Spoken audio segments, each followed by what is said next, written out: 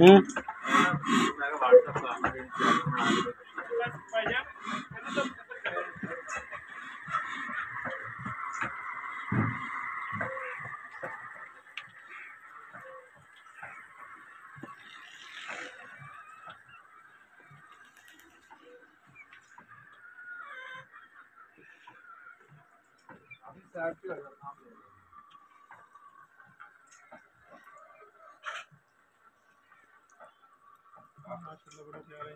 ਇਹ ਚਲਾਉਂਦਾ ਕਿਉਂ ਨਹੀਂ ਵੀਰੇ ਯਾਰ ਸਾਈਡ ਤੇ ਆ ਜਾਵੇਂ ਦਾਣੇ ਤੂੰ ਚਲਾ ਛੜਨੇ ਆ ਚੱਕੀ ਕੌਣ ਹੁੰਦਾ? ਬਾਹਰ ਜੇ ਉਹ ਚੱਕੀ ਨਾਲ ਲੱਗ ਗਈ ਨਾ ਕਾਫੀ ਇਨਕੇ ਆ ਕੰਮ ਵੀਡੀਓ ਬਣਾ ਦੇ ਅਸਲ ਚ ਤੇਰੀ ਚੱਕੀ ਨਾ ਇਹ ਬੈਕ ਸਾਈਡ ਤੇ ਪੈ ਜਾਂਦੀ ਹੈ ਇਸ ਵਜ੍ਹਾ ਤੋਂ ਨਹੀਂ ਪਹਿਲੇ ਇੱਕ ਹੀ ਚੱਕੀ ਆਈ ਅੱਛਾ ਅੱਛਾ ਤਕਰੀਬਨ ਸਵੇਰੇ ਉਹਨੇ ਰੇਟ ਤਾਂ ਨਹੀਂ ਘੱਟ ਕਰਦਾ